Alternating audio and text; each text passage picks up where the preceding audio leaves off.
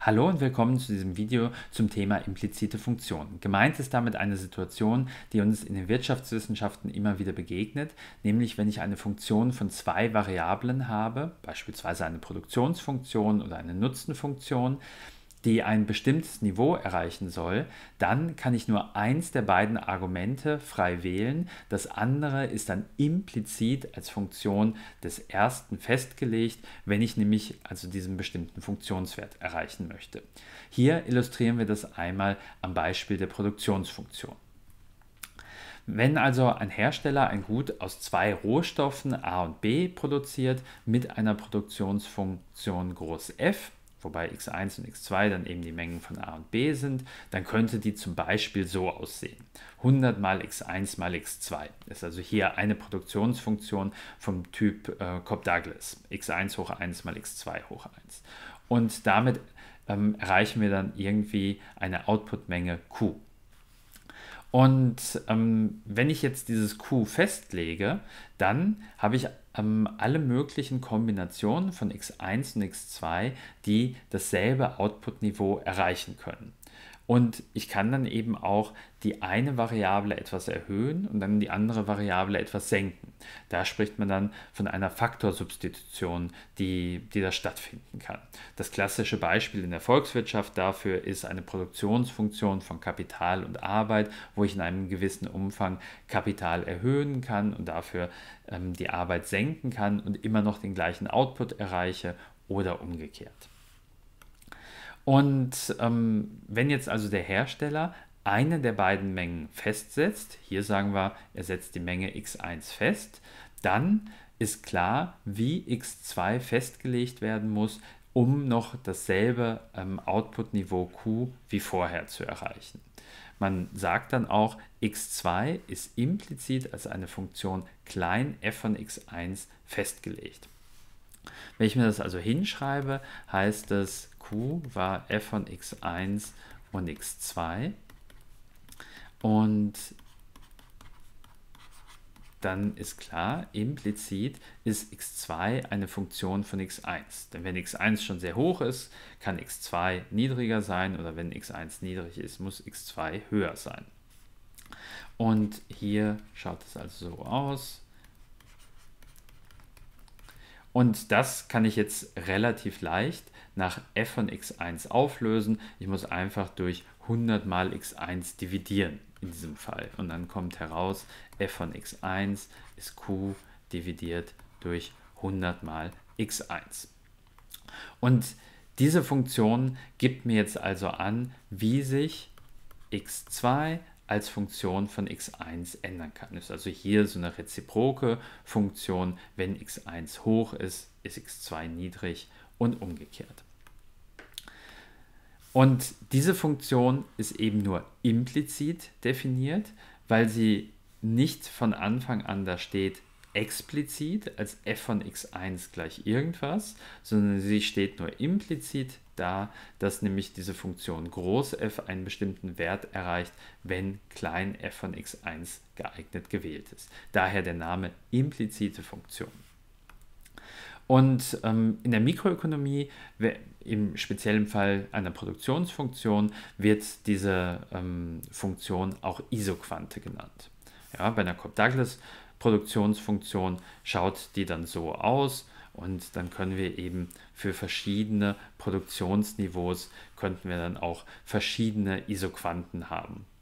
Ja, also die hier ist dann für irgendein Niveau Q1, das für ein höheres Niveau Q2, Q3 und Q4 und so weiter. Und wenn jetzt aber unser Niveau Q festlegt, dann sehen wir eben hier auf der x1-Achse und der x2-Achse, welche Kombinationen von x1 und x2 denselben Output Q erreichen. Und das ist also hier die Funktion f von x1. Und wenn ich dann den einen Faktor senke, dann muss ich den anderen Faktor erhöhen oder umgekehrt. Ich habe außerdem hier in der Grafik noch in Rot eine Tangente mit dazu gemalt und da ähm, werden wir dann wieder unseren üblichen Trick verwenden, dass wenn wir wissen wollen, wie die mh, hm, Substitution zwischen Faktor a und Faktor b ausschaut, dass wir uns da die Grenzrate der Substitution anschauen. Also die Steigung dieser Isoquante, damit wir in einer Nachbarschaft und dem Punkt drumherum auch ähm, leicht durch diese lineare Approximation sagen können, um wie viel muss sich der Faktor b erhöhen, wenn der Faktor a gesenkt wird oder umgekehrt.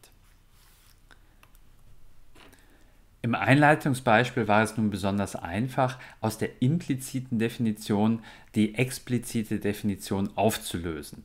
Hier schauen wir uns deshalb jetzt mal eine Musteraufgabe an, wo das nicht so leicht ist. Die Produktionsfunktion ist hier eine quadratische Funktion, x1 plus 5 mal x1 mal x2 plus x2 im Moment verwendet der Hersteller die Faktorkombination 3 und 5. Es soll nun der Einsatz von Faktor A erhöht werden und der Einsatz von Faktor B verringert werden, und zwar unter Beibehaltung des aktuellen Produktionsniveaus. Berechnen Sie die Grenzrate der Substitution von Faktor A gegen Faktor B. Dafür wechsle ich einmal rüber in mein R, habe mir also hier die Funktion f schon einmal eingespeichert und die momentane Faktorkombination ist 3 und 5. Also 3 Quadrat plus 5 mal 3 mal 5 plus 5 Quadrat ergibt 109. Und jetzt soll also der Faktor 1 erhöht werden. Wir könnten mal anschauen, was passiert, wenn wir den um eine Einheit erhöhen. Dann erhöht sich natürlich auch der Output und wir könnten den Faktor b senken. Probieren wir den mal um eine Einheit zu senken. Oder ähm, da kommen wir noch nicht ganz bei dem Niveau von vorher an oder um 1,1. Da sind wir immer noch nicht ganz auf dem Niveau von vorher. Und wenn wir hier auf 1,08 gehen, dann sind wir so in etwa bei dem Niveau von vorher. Gerundet wenn das also wieder diese 109 ähm, Mengeneinheiten an Output. Und wir haben also hier den Faktor 1 um eine Einheit erhöht und konnten deshalb den Faktor b um 1,108 Einheiten senken. Das ist jetzt natürlich der diskrete Schritt, wenn ich wirklich ähm, x1 um eine Einheit erhöhe. Wenn wir jetzt die Grenzrate wollen, dann schauen wir uns das natürlich an, was passiert, wenn wir das um eine marginale Einheit machen. Und dann probieren wir einmal zu schauen, was passiert, wenn wir es denn um 0,1 Einheit erhöhen. Und ich habe einfach den, die Senkung von Faktor b auch durch 10 dividiert. Und da sehen wir, da sind wir aber hier noch zu groß. Gehen wir mal auf 0,12 und da sind wir schon näher dran. Ein bisschen größer müssten wir es noch wählen. Und dann können wir den, die Erhöhung nochmal marginaler machen auf 0,01 Einheit. Und auch hier dividiere ich das einfach wieder durch 10 und sehe, da könnte ich also noch ein bisschen weiter runter gehen und ähm, so käme ich dann noch ein bisschen näher dran. Also die, ähm, die Grenzrate der Substitution scheint irgendwie bei sowas wie minus 1,24 in etwa zu sein. Aber genau müssen wir uns das natürlich ausrechnen, indem wir uns ähm, diese implizite Funktion jetzt explizit ausrechnen und dann können wir auch die Ableitung bilden. Wechsle deshalb also hier zurück auf meine Folien, habe mir nochmal das Output-Niveau ausgerechnet und jetzt versuchen wir damit diese Funktion f von x1 einmal explizit zu bestimmen. Ja, x2 ist ähm, implizit festgelegt als Funktion von x1. Dann setzen wir das ein, da haben wir da stehen x1 zum Quadrat plus 5 mal x1 mal diese Funktion f von x1 plus f von x1 zum Quadrat. Und auflösen wollen wir das Ganze jetzt nach f von x1. Das heißt, wir stellen das ein bisschen um.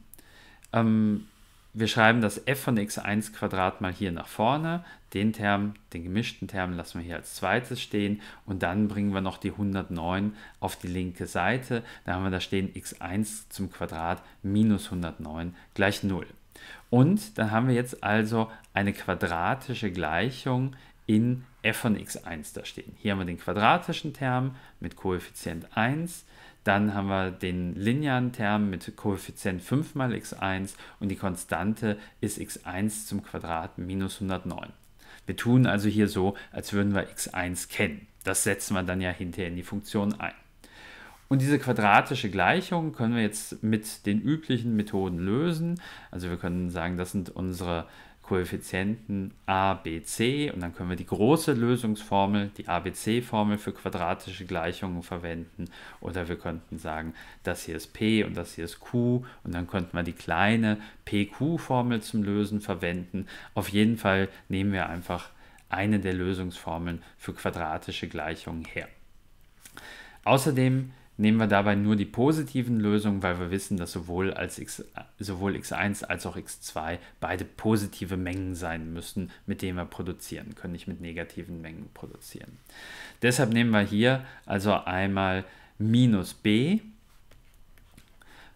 nicht plus minus, sondern nur plus die Wurzel aus b minus 4 mal a mal c.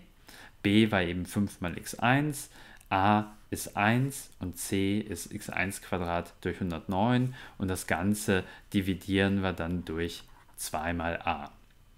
Das ist das, was wir hier stehen haben. Und wenn wir hier die Terme noch ein bisschen zusammenfassen, die 25x1 zum Quadrat minus 4x1 zum Quadrat, dann können wir das Ganze noch umschreiben zu 21x1 zum Quadrat plus 4 mal 109 sind 436. Und dann haben wir diese Funktion da stehen, die uns explizit angibt, wie ähm, x2 eine Funktion von x1 ist. Ich wechsle auch hier nochmal auf mein r.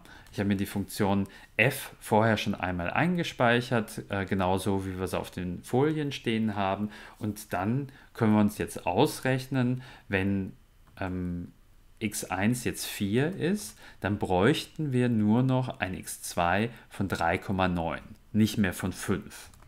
Also wenn wir dann hier das F3 einsetzen, bekommen wir die 5 raus, bei der wir gestartet sind. Und wenn wir dann die Differenz zwischen den beiden bilden, dann sehen wir die Differenz, die wir da rausbekommen, also die Veränderung des Inputs x2. Und wenn wir das jetzt auf 0,1 setzen oder 0,01 oder 0,001, dann sehen wir, dass sich das eben so langsam der Ableitung annähert. Hier wollen wir jetzt wirklich die Ableitung analytisch ausrechnen, die Grenzrate der Substitution. Und nachdem wir ja die Funktion f von x1 explizit ausgerechnet haben, müssen wir diese Funktion jetzt nur noch in Anführungsstrichen ableiten. Da haben wir einmal diese Wurzelfunktion ähm, multipliziert mit 1 halb und dann haben wir noch minus 5 halbe mal x1, das wird einfach zu minus 5 halbe. Ich setze das hier also einmal ähm, schon direkt ein, Ableitungen ausrechnen äh, können wir schon, tun ich hier nicht nochmal alles explizit vor. Wir sehen aber, dass diese Ableitung ja, ein relativ komplizierter Ausdruck wird, aber in den können wir dann letzten Endes an der Stelle 3 einsetzen und bekommen dann einen Wert von minus 1,24 heraus. Die Interpretation ist dabei also, wenn Faktor a um eine marginale Einheit erhöht wird, dann muss Faktor b um ca. 1,24 marginale Einheiten verringert werden, damit das Produktionsniveau unverändert bleibt. Und je kleiner diese marginale Veränderung ist, desto präziser ist diese Approximation. Und ähm, das ist also dann diese Interpretation als Grenzrate der Substitution, die in der Volkswirtschaft standardmäßig verwendet wird. Diese Berechnungsmöglichkeit war dabei relativ aufwendig. Was haben wir gemacht? Wir haben ähm, die Funktion mit der Nebenbedingung, also dem Output-Niveau, äh, angegeben und haben dann explizit aufgelöst und diese explizite ähm, Form der ähm, Funktion dann abgeleitet. Das, was wir uns dann im nächsten Video anschauen werden, ist, dass es für das Ganze noch eine weitere Berechnungsmöglichkeit gibt, mit der das Ganze sehr viel schneller geht.